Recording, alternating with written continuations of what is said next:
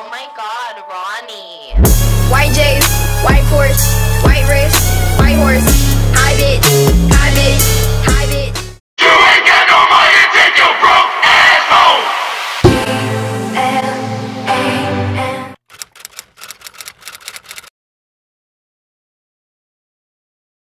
Hey guys, welcome back to my channel. I am so happy to be back with another wig review.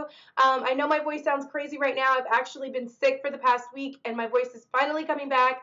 And of course, because I'm impatient, I couldn't wait until it came all the way back to bring you this wig review because I was so excited about this color. I purchased this unit from a seller on Amazon. It is called the K'ryssma Body Wave. It's a hand-tied lace front unit and it cost me $39.99. And so since I have Prime, I didn't have to pay for shipping, which was awesome. Um, I got I saw a lot of really good reviews about this unit um, in the on the description on the website, and so I felt like I might give it a shot. It looked kind of like cosplay costumey to me, but the color was so pretty, and the pictures that people posted, I could see that the color was like kind of true to the to the image that they put in the product description. So I really wanted to try it out. Um, so I'm going to run through the um, specs of this unit and then I'm going to give you like my um, pros and cons on this unit. So specs on this unit, as I said before, this is a lace front unit. It is a soft lace unit and it has um, three combs total and it uh, does have adjustable straps. There isn't a comb in the back, but there are two combs here um, near the ear, a little bit lower than your temple area, and then one up here at the top, which I really appreciate when companies add the comb at the top because it kind of keeps the lace flatter on your head than it would if you just had the two on the side. This unit though, I don't feel like it's very big head friendly because it definitely is fitting pretty snug on my head and um, it's on the the loosest little hook um, on the adjustable strap. So I don't think it's big head friendly. The density on this unit is really good. Um, so I'm happy about that. It's very, very thick and very full. So pros and cons for this unit. Um, pros, of course, this color. It's absolutely beautiful. I am living for it. It's like this very like copper fall like it's it's like a brown copper i'm just obsessed with it okay? It's just really it's giving me ginger vibes it's giving me rihanna vibes and i'm like i'm so here for it. I also really like the waves on this unit it's really giving me like this kind of effortless glam that i'm just like really really standing for right now.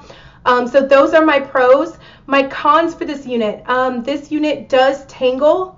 Um, I haven't been experiencing any shedding, but I mean, there's quite a bit of tangling. And this is on the first wear. I didn't do anything to it. I just threw it on. Um, these are how the curls will look um, out of the box. It's pretty true to what it looks like out of the box.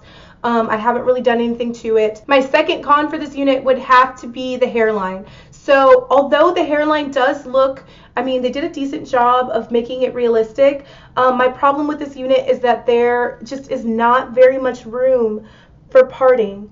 Um, you, you kind of get maybe an inch before you start feeling tracks here. This is really the only space on the unit where I could like part it without running into a track. So you can't, even though there's there's lace like ear to ear, you can't really part it here. So that's something that I wasn't too fond of. Also, this unit will require a lot of work in the plucking department. Like I said before, I didn't do anything to this unit. Um, I just kind of wanted to show you what it looks like out of the package. But you can, of course, like cut it and customize it and tweeze the part and add concealer. I didn't do either of those things. I just kind of threw it on and it's really really dense so you're going to have to do a lot of work to kind of open up that part and make it look a little bit more realistic. I think that kind of like the friday night hair units the best way to wear this unit would be the way that i'm wearing it now and to kind of just like toss it over to the side and just wear it like that without like going through the hassle of making a part in this unit because I feel like it's just not going to look realistic even if you do kind of pluck the hell out of it.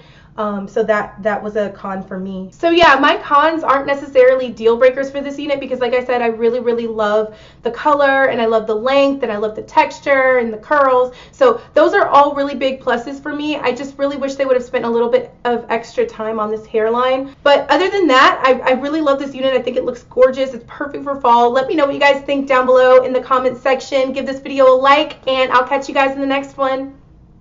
Yeah.